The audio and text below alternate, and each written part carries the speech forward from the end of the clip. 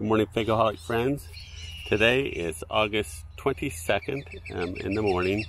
We have um, quite a bit of smoke from wildfires from quite a far away still.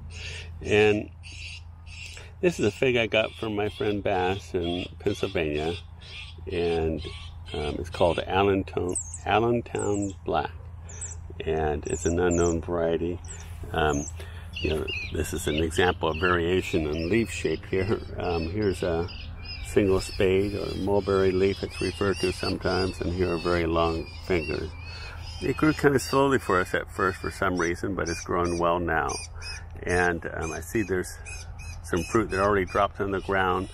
This is in a spot where we removed an older tree that um, wasn't doing that well for us or just not that great a fig and so um, I hadn't been checking the older rows for nutri.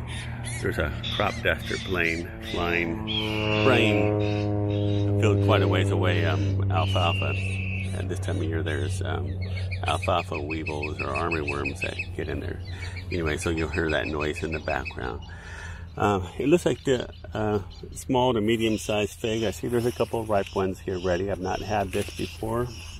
I could have picked some earlier already, um, so I wouldn't say it's a late fig. It's just I haven't gotten around to the so long stem on it.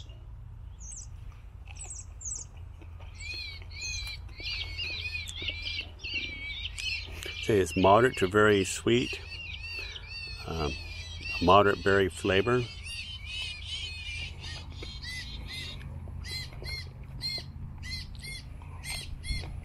Me try this small one.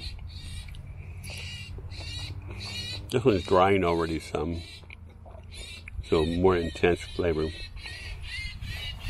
I'm not sure if I have any other. I think this one over here has larger fruit, but it's not ripe. It's quite firm still. Here's a, a small one that is very dry.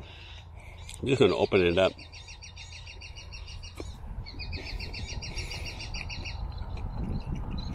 as I expected, the sugar level is high enough it doesn't spoil, so it can dry right on the tree unless it drops off. So again, this is called Allentown Black.